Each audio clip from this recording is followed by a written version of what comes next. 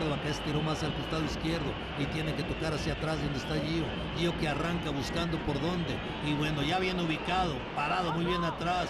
El equipo de Gallos, Córdoba que pelea. Sigue, sigue, sigue, sigue, sigue, sigue, sigue, sigue. Todavía el disparo, gol. ¡Gol!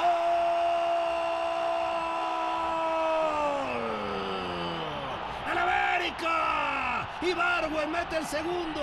Un gol a base de riñones. Es el que hace el América. De Córdoba. Exactamente Ibargüen. Ahí vemos.